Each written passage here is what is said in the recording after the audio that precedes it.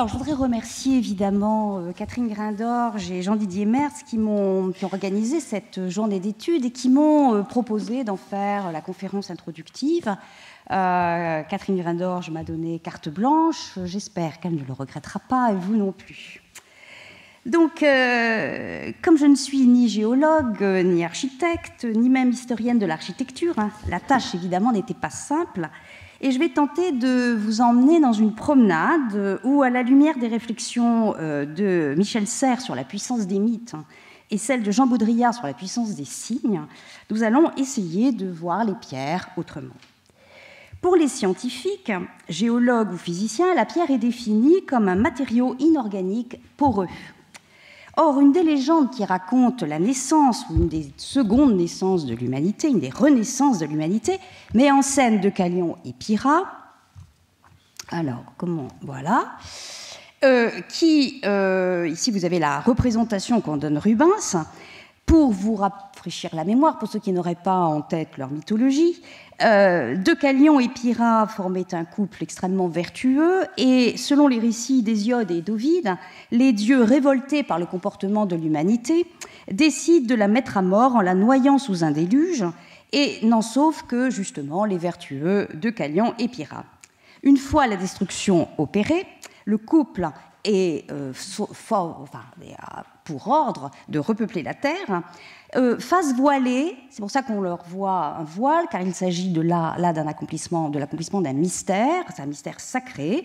et euh, on leur ordonne de jeter derrière eux les eaux de leur mère. Après un temps d'hésitation, Deucalion comprend que les eaux de la mer, eh bien, ce sont les pierres, qui euh, sont, euh, la terre étant notre mère commune, les pierres sont ces eaux, et nous pouvons les jeter derrière nous sans faire le mal. Donc, Pierre se transforme en homme et en femme et euh, vont donner donc naissance à euh, l'humanité euh, nouvelle. À l'autre bout du temps et à l'autre bout du mythe, en 1982, Jacques Abeille publie un roman qui s'intitule Les jardins statuaires. Euh, ici, vous en voyez une illustration donnée par François Schuiten, qui euh, s'est passionné pour ce roman d'influence très surréaliste, créant des contrées euh, très étranges, dans laquelle justement de zélés jardiniers taillent, bouturent des statues qui bourgeonnent dans les jardins clos où poussent des osselettes à partir desquelles les statues vont donc prendre forme c'est que, comme le dit euh, Michel Serres, les mythes ne sont pas des choses mortes. Euh, au contraire, elles irriguent, ils irriguent notre pensée beaucoup plus souvent que nous le pensons. Comme la terre qui nous porte, écrit-il dans son livre Statut, et le ciel qui nous contient, nous héritons de millions d'années de formation et donc restons archaïques pour plus de neuf dixièmes de notre épaisseur, enfoncés jusqu'aux yeux dans le passé immensément long de l'attente de la science cette formidable vieillesse nous tient. Cette formidable vieillesse, au sens latin du terme, évidemment, c'est ce qui inspire la crainte, le respect, c'est celle attribuée à la pierre, au roc gardien du début de la planète, pour reprendre une formule de Roger Caillois, et que cette dernière soit une puissance vivante qui donne la vie et qui la forme se retrouve dans divers mythes indo-européens, sémites et orientaux. Ce temps des pierres renvoie l'homme à la préhistoire, même à l'avant de la préhistoire, à la création du monde, et aux forces qui sont en œuvre dans cette création, comme euh, par exemple on le voit dans ce plissé peut-être de Marot-Cipollin, puisque nous sommes en EB. Le gigantisme, vous avez vu une vision, euh, Pascal vous a montré Stonehenge. Bon, là, je vous montre ces maisons construites justement aussi dans le sud de l'EB à partir d'énormes blocs de pierre, issus directement, les photos ne le montrent pas, mais vous voyez derrière les, forêts, en fait, issus directement des rocs qui sont derrière et euh, qui servaient en fait de carrière. Donc euh, les cairns, les menhirs, les pierres levées, l'âge de la pierre nouvelle, autrement dit euh, le néolithique. Nous descendrions donc des pierres, ce qui, euh, au vu de l'état de notre cœur, parfois n'est pas très étonnant, et nous courons le risque de retourner à cet état pierreux quand nous faisons de mauvaises rencontres, par exemple avec Méduse, vous voyez dans ce tableau de Natier la différence de couleur entre les corps bien vivants et les corps qui sont en train de se pétrifier, ou bien quand nous rencontrons des animaux mythiques comme les basiliques et les cocatrix, euh, qui euh, ont pour euh, caractéristique de pétrifier les êtres qui leur sont affrontés. Vous aurez reconnu, les vrais cinéphiles auront évidemment reconnu le thème majeur du volet 2 de la saga d'Harry Potter, Harry Potter et la Chambre des Secrets, puisqu'il est aux prises avec un énorme basilic qui s'amuse effectivement à pétrifier ses petits camarades. Si parfois la, matière s'anime, la pierre s'anime, se met à marcher, comme la, Vénus d'île ou le commenteur chez Don Juan, qu'elle soit, animée euh, qu'elle soit aimée à l'égal des femmes ou hommes, euh, comme euh, dans le cas de l'agalmatophilie ou l'amour des statues, ou encore qu'elles se mettent à chanter, comme la statue de Memnon. vous avez ici une, représentation qui avait au rayon du soleil la réputation de se mettre, d'émettre des sons et donc de se mettre à chanter. Il s'agit là évidemment quand même plus de l'imago et de ses pouvoirs que euh, de la pierre véritablement. Mais dans le vocabulaire, on parlera, et les sculpteurs parleront de marbre gentil, euh, de pierre rebelle, dotant ainsi la pierre de qualité, au fond, assez humaine. Alors on pourrait continuer longtemps ce petit jeu de, métaphores, hein, depuis, euh, euh, tu es Pierre et sur toi je bâtirai mon église, de l'évangile de Matthieu jusqu'à Rabelais, je ne bâtis que pierre vivre et ce sont hommes, écho de l'épître de Saint Pierre aux Romains, le Seigneur est la pierre vivre, rejetée des hommes, etc. Et car trace de cette conception de la pierre, de cette vision de la pierre comme d'un être vivant et assimilé à la divinité, que l'on retrouve dans la tradition de la pose de la première pierre, et ici par exemple cette pierre d'angle dans cette église manifestement en brique euh, aux États-Unis.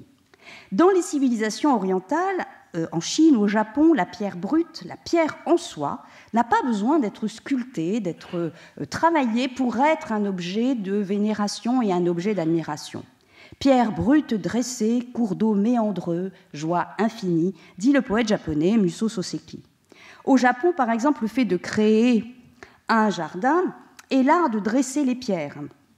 Et l'on connaît bien évidemment les jardins secs de la tradition zen, destinés à la contemplation et au voyage intérieur.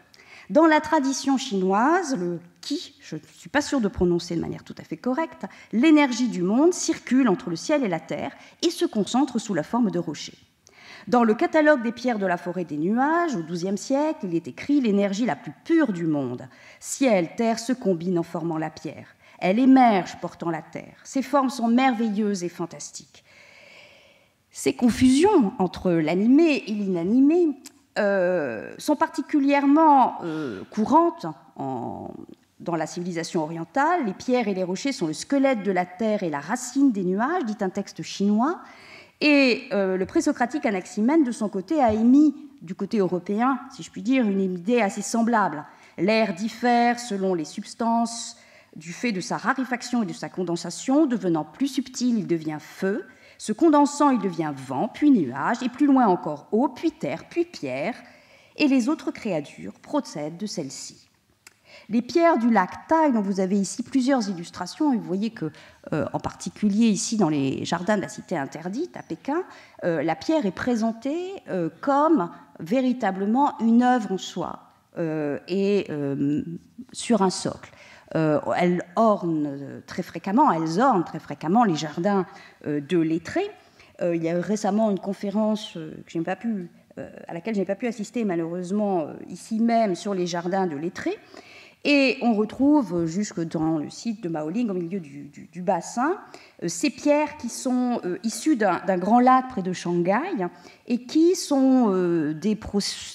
issues de processus tout à fait naturels dans leur forme, creusée, contournée, travaillée. Et elles ont fait l'objet, ici vous avez une représentation peinture Song, de beaucoup de peintures. Elles sont dites bizarres, étranges, grotesques, laides même semblent informes et elles sont opposées non pas au beau, euh, non pas euh, à une esthétique euh, valorisée de ce point de vue-là, mais à la fabrication humaine. Elles sont opposées à l'artifice que pourrait représenter la pierre sculptée, voire le marbre de nos jardins. Donc elles en appellent à d'autres qualités qui sont la simplicité, le brut. Elles sont issues de la nature, de la puissance tellurique, de ce chaos originel qui a donné cette forme. Elles en gardent la trace et aussi les vertus.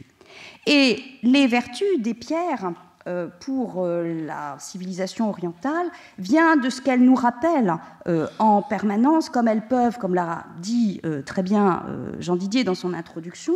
elles peuvent être érodées, usées, craquelées, détruites comme les hommes. Elles ont les mêmes qualités de ce point de vue-là, au sens de Musil, des mêmes caractéristiques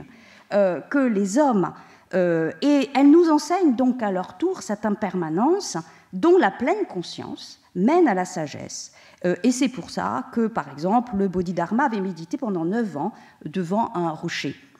Elles sont capables de parvenir à l'éveil philosophique, à l'éveil religieux, comme le montre une autre histoire chinoise, l'histoire du Dao Shang, qui, rejeté par ses pères, dut se rendre sur la colline du Tigre près de Shuzhou pour y enseigner aux pierres qui finirent par acquiescer à sa doctrine, alors que les hommes étaient extrêmement réfractaires, car seule la sainteté permet d'éveiller l'esprit des rochers. Dans son livre Passagère du silence, l'artiste Fabienne Verdier, euh, formée à la calligraphie pendant de nombreuses années en Chine, si proche, hein, la calligraphie, euh, de la peinture de paysage, analysant les pierres de rêve du jardin de Shuzhou, évoque ce qui est pour elle une intuition fondamentale et qui lui a été glissé par nombre de ses conversations avec les grands peintres calligraphes euh, de euh, cette période et de l'époque euh, auprès desquels elle s'est formée. si les peintres de paysages, explique-t-elle, ont réussi à reproduire leur vision avec une puissance telle qu'elle semble presque réelle sur le papier, c'est parce qu'ils ont compris, avec une suprême humilité, qu'ils étaient les petits frères des pierres et des arbres sur cette terre, et que nous étions capables, par notre alchimie intérieure, de donner vie au minéral comme la nature nous donne vie. Cette idée de fraternité entre l'homme et la pierre rappelle l'anecdote du peintre chinois Mifu, qui s'inclinait tous les matins en habit de cérémonie devant une de ces pierres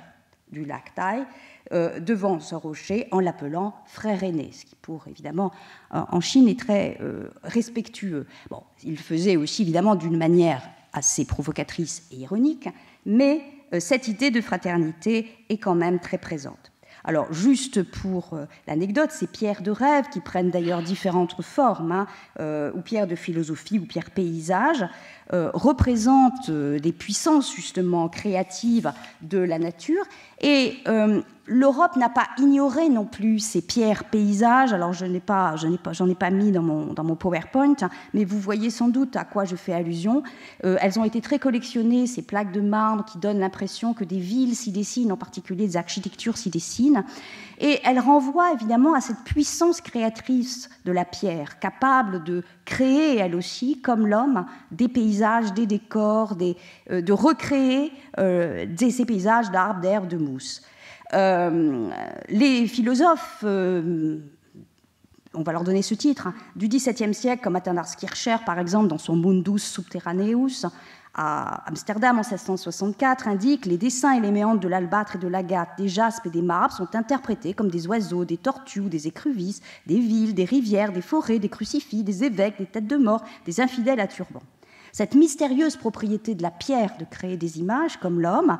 euh, porte différents noms. On l'appelle puissance minérale formative des pierres, esprit plastique architectonique, architectonique puissance séminale lithogène, hein, la vis seminalis lapidifica de Gassendi. Si l'Europe a été fascinée par le phénomène et en a orné les cabinets de curiosité, comme vous le voyez euh, sur cette plaque, euh, les poètes chinois souvent s'en sont emparés et ont inscrit des poèmes sur ces plaques. Pour euh, revenir à l'architecture qui nous occupe ici quand même un peu plus, euh, l'architecte contemporain Wang Shu euh, s'inscrit dans cette tradition de lien avec ce minéral lorsqu'il déclare J'ai dessiné le musée d'histoire de Ningbo comme on le fait d'une montagne, et souligne ainsi le lien entre nature et architecture, peinture lettrée et construction. Alors, ce n'est pas sans doute à la vraie montagne que Wang Fu se réfère, mais plutôt à ces montagnes de la peinture Song, euh, de la dynastie Song, qui l'ont profondément marqué. Et il joue sur ce lien entre microcosme et macrocosme, le plus petit concentrant toutes les vertus du plus grand et par conséquent les accentuant. La conception chinoise d'un vaste flux d'énergie circulant indifféremment au sein de la Terre, du ciel et des êtres vivants, cette idée de la non-séparation de l'être humain, de l'humain et du non-humain, euh, ont trouvé un écho dans la philosophie euh, occidentale, et en particulier à travers deux philosophes et écrivains américains très marqués par la pensée orientale, Ralph Waldo Emerson et Henry David Thoreau, euh, qui, qui ont joué un rôle très important dans la construction de l'identité américaine et dans la, la, manière de, de, penser de l'Amérique au XIXe siècle. Ils ont eu de l'influence, en particulier, euh, leur philosophie transcendentaliste a eu de l'influence, en particulier à travers des architectes comme, euh, alors les photos sont très mauvaises parce que ça le repiquait dans un livre, puisque le bâtiment a été détruit, d'Henry Hobson Richardson, euh, qui est un des précurseurs de la Prairie School, dont je, vais vous parler, euh, et qui, euh, ici, dans ce bâtiment où il avait utilisé des pierres très apparentes, très, travaillées de manière très grossière, est commenté par Louis Sullivan, qui va être un des grands maîtres de la, justement de l'école de la Prairie School. La pierre et le mortier, ici, jaillissent de vie et ne sont plus des objets matériels, des choses sordides. Fait de quatre coins et bras, il est debout, comme un fait physique, un monument au commerce, à la puissance et au progrès de l'époque, à l'énergie, à la ressource de l'individualité et à la force du caractère et à la force, écrit Louis Sullivan dans des conversations et des textes qui sont les Kindergartenshots. Le même Hobson Richard, euh, le même Henry euh, Hobson Richardson, euh, donc a réutilisé la pierre de manière très très dans une matérialité débordante à travers, par exemple, Gate Lodge dans le Massachusetts,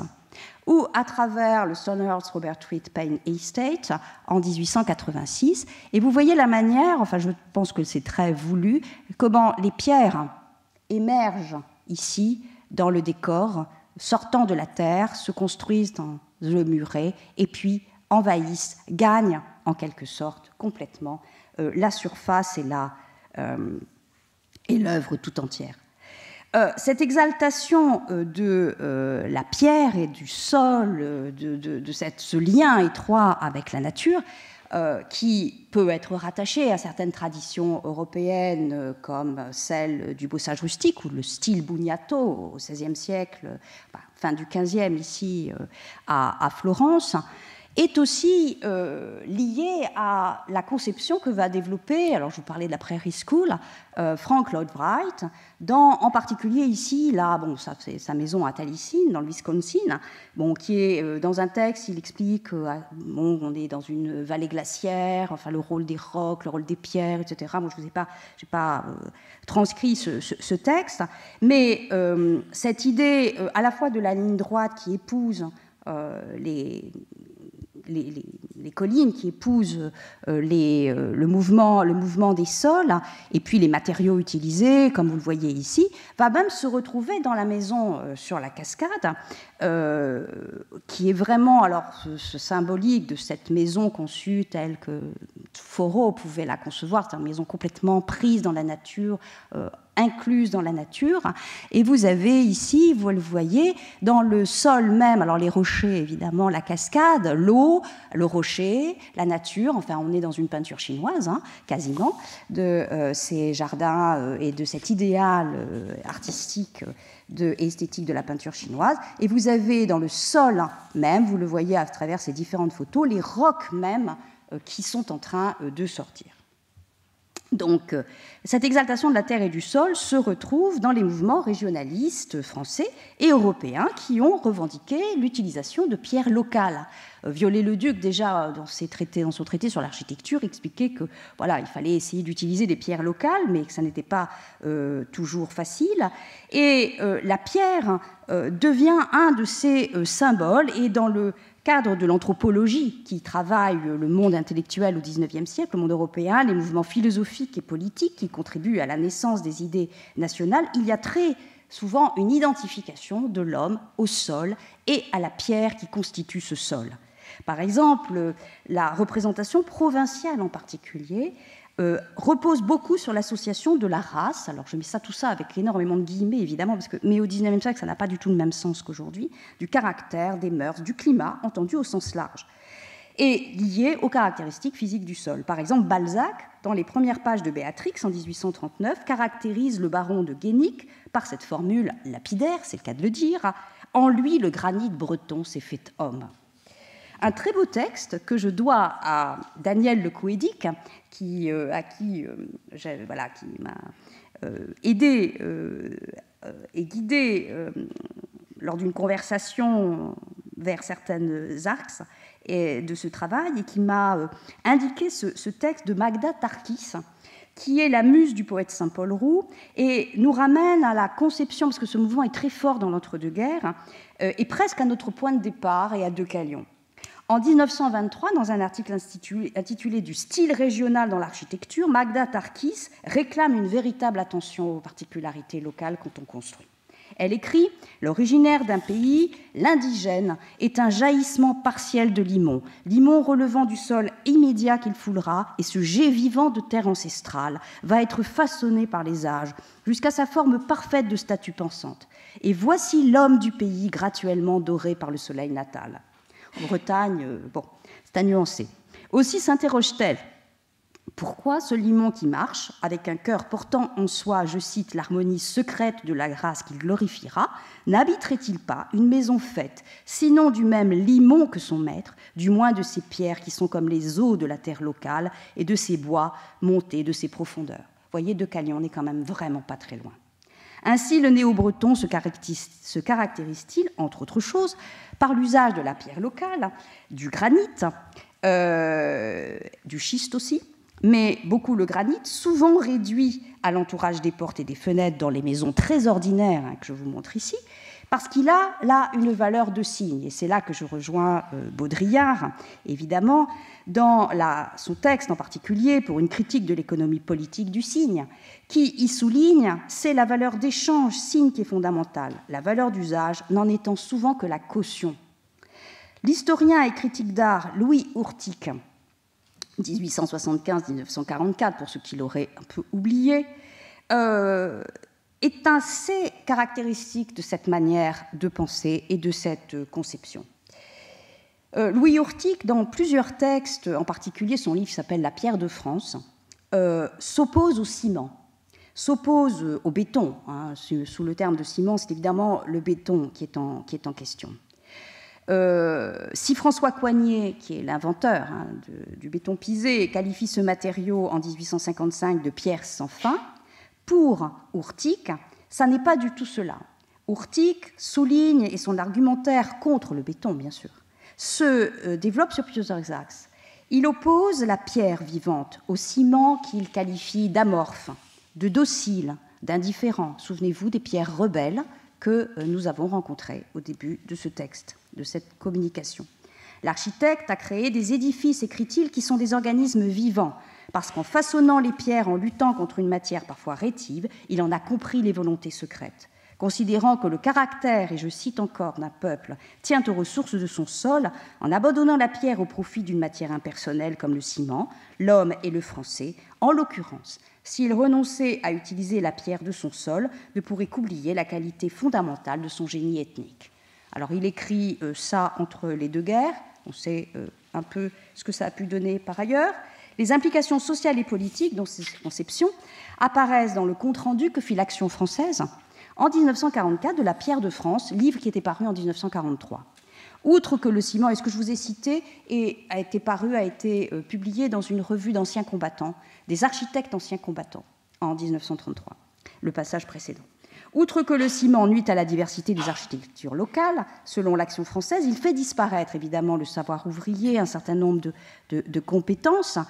et il abolit pour nous des modes d'habitat qui sont le cadre de bien les habitudes morales qu'il nous faut défendre. C'est peut-être une des raisons pour lesquelles certains apôtres du ciment, je cite toujours, très conscients de ce qu'ils entreprennent, bolchevisants et ennemis de toutes nos traditions, veulent implanter chez nous une architecture dont le plus illustre spécimen est à Paris, ce hideux pavillon de la cité universitaire que Louis Urtic, dit l'Action française, appelle fort justement quadrupède, œuvre qui devrait nous rattacher au nom de son auteur, M. Le Corbusier, une honte indélébile. Il s'agit de nous défranciser nos désastres aidants. Alors la récente exposition d'ailleurs de Kader Atia, oui, euh, je vais essayer d'aller plus vite, au Macval, qui s'intitulait Les racines poussent aussi dans le béton, constitue une forme de réponse à cette conception et à ce type de considération. La réalisation des quadrupèdes en béton n'a pas empêché le même Le Corbusier de construire un certain nombre de villas, et ça c'est l'usage aussi privé qui s'oppose à l'usage public, de euh, pierre, dont la villa par exemple d'Hélène de Mandreau, euh, ou, pardon, dans euh, cette villa de la Champ de Faux. Juste pour la plaisanterie, cet immeuble moderne à Champs-sur-Marne, que certains d'entre vous reconnaîtront, avec son appareillage de fausses meulières, mais qui fonctionne comme un signe que cette construction, qu'on dira gentiment actuelle, se rattache à cette utilisation, cette valeur de signe de la pierre. Et ici, euh, je passerai sur la période euh, fasciste italienne, qui a aussi euh, beaucoup exalté la pierre. Pour vous parler un peu d'art contemporain, en conclusion et avant de, terminer, parce que certains artistes contemporains, et ici c'est Chris Drury, The Birth of Energy, travaillent beaucoup sur cette question, convoquent cette puissance tellurique de la pierre à travers ses œuvres d'art, arguant que la nature et la culture sont une seule et même chose. Et Drury fabrique ainsi des abris en pierre, alors outre cette spirale, euh, fabrique ainsi des abris en pierre qui semblent euh, tout à fait euh, de construction traditionnelle, qu'il appelle des chambres à nuages, des chambres à vagues, et qui permettent de voir à l'intérieur de la hutte, en particulier ici le mouvement des vagues par un système de, périscope. Alors, euh, un peintre comme Gilles Ayot et le philosophe Jean-Christophe Bailly, qui publient euh, leur ouvrage D'après nature, encyclopédie de tous les animaux, y compris les minéraux, euh, c'est le titre, hein, inclut la pierre, l'obsidienne, l'acacia aussi, donc les plantes et les euh, minéraux dans l'encyclopédie ne relève toutefois pas seulement du trait d'esprit, explique Jean-Christophe Bailly. S'il y a là quelque chose d'un pied de nez à la science et à ses classifications, je crois que la portée est plus ample et qu'elle sous-entend qu'il puisse y avoir pour l'animalité une amplification, un élargissement en direction du vivant, les plantes, et de l'inanimé, les pierres, comme en direction, bien sûr, de l'homme. Et ici, vous voyez dans ce tableau de Gilayo, Vivarium, euh, les animaux se confondent complètement avec le fond euh, constitué de pierre. L'art et la poésie de la deuxième moitié du XXe siècle vont donner une grande place à la pierre, parce que là aussi, dans un contexte de renaissance philosophique, un contexte encore très troublé par beaucoup d'interrogations sur l'humain, sur ce qu'est l'humain et le non-humain, eh bien la pierre, qui est un élément privilégié, comme écrit Anne Gouriot dans son livre Chant de pierre, euh, qu'elle soit guérisseuse ou plus largement miraculeuse, c'est longtemps montré le débouché de Dieu sur terre et a donc cristallisé la crise existentielle de l'après-guerre. Il n'y a rien d'étonnant pour que, à ce que Camus, par exemple, en fasse un des protagonistes majeurs, évidemment, de son livre euh, sur Sisyphe. Je termine là juste par trois quelques images d'artistes plus ou moins contemporains. Eugène Dodaigne est mort, mais Denis Monfleur est encore très actif, et qui utilisent des pierres euh, dressées, très totémiques, avec chez Denis Monfleur un souci de se confronter, alors ici au granit, mais euh, bien souvent à la lave du Mont d'Or, à des orgues balsatiques extrêmement durs, euh, où le travail du sculpteur est aussi celui de maîtriser, de s'approprier cette puissance, cette force de la terre.